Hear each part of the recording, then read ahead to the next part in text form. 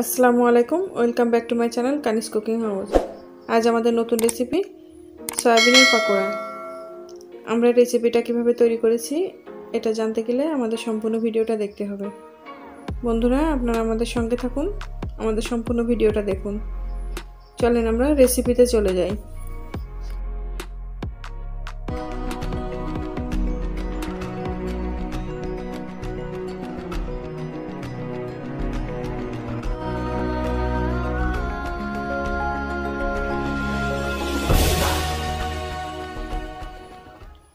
আমি চুলাতে একটা পাতিল দিয়েছিলাম। পাতিলে আমি পানি গরম করতে দিয়েছি।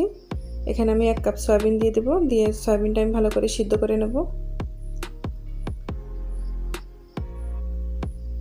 সয়াবিনটা আমি সিদ্ধ করে তারপরে ঠান্ডা পানি দিয়ে ধুয়ে নেব ভালো করে। এটা দুই তিনবার ঠান্ডা পানি দিয়ে ধুতে হবে। দেখেন আমি ঠান্ডা পানি দিয়ে ধুয়ে নিয়ে চলে এসেছি।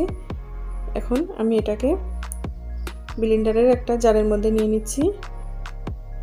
আমি এটা বিলিন করে নেব।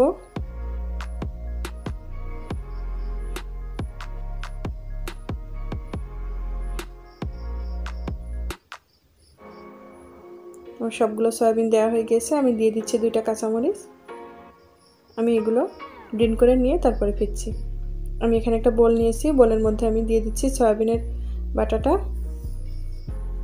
দিয়ে দিচ্ছি আদা কুচি আদা কুচি এক চামচ এক চামচ রসুন কুচি এক চামচ ধনিয়া পাতা কুচি, একটা পেঁয়াজ কুচি, পরিমাণ মতো লবণ, সামান্য মরিচ গুঁড়া, শুকনো মরিচ গুঁড়া, সামান্য হলুদের গুঁড়া, সামান্য জিরা গুঁড়া, সামান্য গরম মশলা গুঁড়া। দিয়ে দিচ্ছি আমি তিন টেবিল চামচের মতো চাউলের গুঁড়া। আমি সবগুলো উপকরণ একসাথে মাখিয়ে নিচ্ছি। দেখেন আমার মাখানোটা হয়ে গিয়েছে। আমি চুলাতে একটা কড়াই দিয়ে দিয়েছিলাম। আমি দিয়ে দিয়েছি সাদা তেল। আমি এখন এগুলোকে বড় আকারে ভেজে নেব।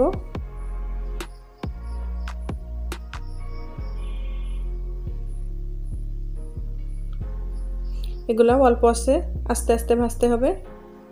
আর খুব দ্রুত হয়ে যায়। সন্ধ্যায় হঠাৎ বাসায় মেহমান এলে ঝটপট আপনি তৈরি করে দিতে পারেন এমন নাস্তা। দেখেন, দেওয়ার সাথে সাথে এগুলো দুই মিনিটও লাগবে না, আমি উল্টিয়ে দিচ্ছি।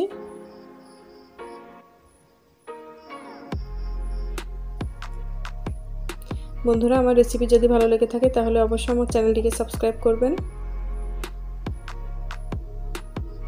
পাশে বেল আইকন বাজিয়ে দিবেন, নতুন নতুন রেসিপি এলে সবার প্রথম আপনি পাবেন। দেখেন, আমার পাকোড়াগুলো ভাজা হয়ে গিয়েছে, আমি আবার একটু উল্টিয়ে দেবো। এগুলো অল্প আছে, আস্তে আস্তে ভাজতে হবে।